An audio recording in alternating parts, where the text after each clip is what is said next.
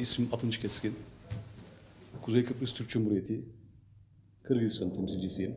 Göreve yeni atandım 9 Ocak 2017 tarihiyle göreve e, buradaki temsilcimiz Sayın Büyükelçi Tesir Şanaplat'tan teslim aldım. Hayırlısıyla görevimize başlıyoruz. Bugün görevimizdeki ilk günümüz. Şunu söylemek isterim.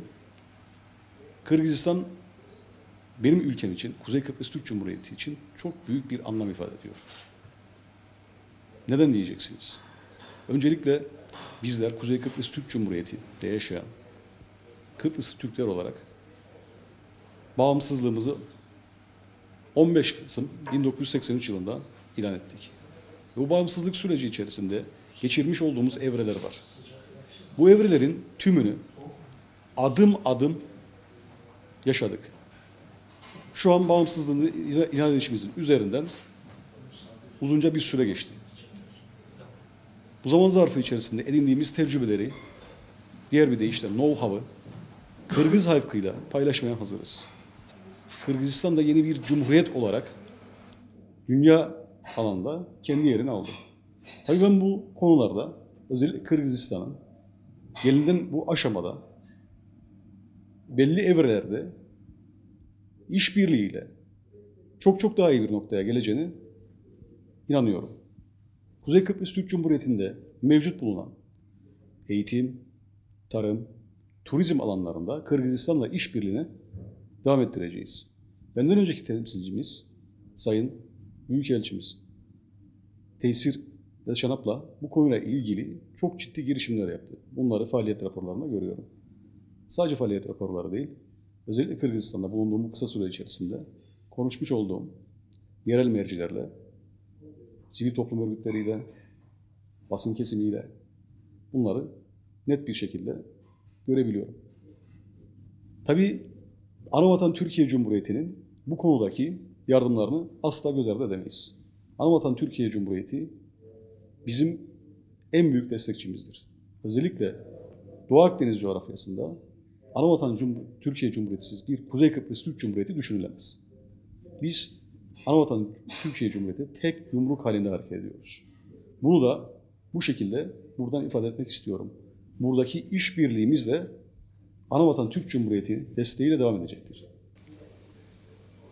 Tabii Teysir Bey ile az önce yapmış olduğunuz konuşmada gelinen e, ilişkiler noktasında çok çok iyi bir düzeyde olduğumuzun farkındayım.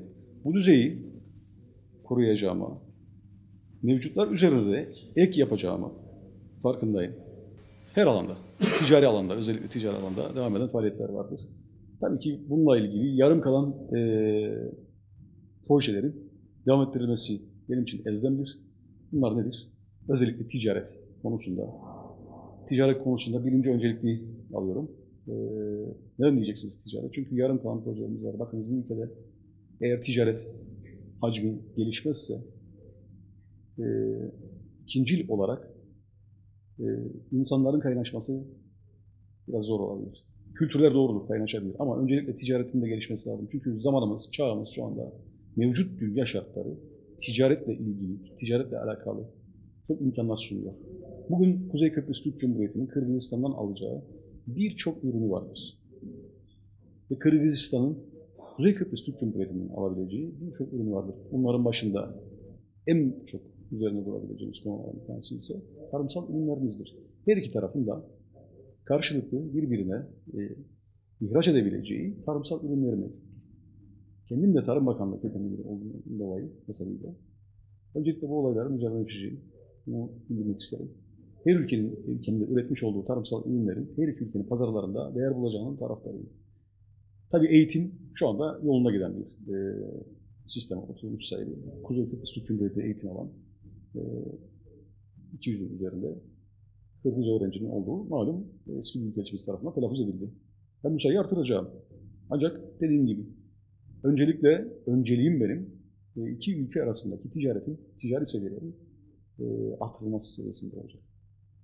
Bunu buradan huzurlarınızdan ifade etmek isterim. Tabii turizm de olacak, turizm de sırayla gelecek ama öncelikle dediğim gibi iki ülkenin üretmiş olduğu ticari metaların ihraç kalitesinde olabilecek ürünlerin iki ülke tarafından değerlendirilmesidir. bunun da süratle başlamasıdır. Tabii bunun yanında yatırımlar olacak. Bunu söyleyeyim. Her iki ülkenin de yatırımcı iş adamları mevcut. Yatırım ortamları mevcut. Yatırım ajansları mevcut. Bunlar da devreye girecek. Her iki ülkenin de tabii bürokrasisi malum durumlar ortada. Yani şu anda devletler arasında herhangi bir e, ilişkimiz olmamasına rağmen de facto olarak e, buradaki e, mevcudiyetimiz, özellikle buradaki mevcudiyetimiz diyorum, yani e, Kırgız halkının, Kırgız e, medyasının, efendim Kırgız sivil toplum örgütüyle ilişkilerimiz gayet iyi.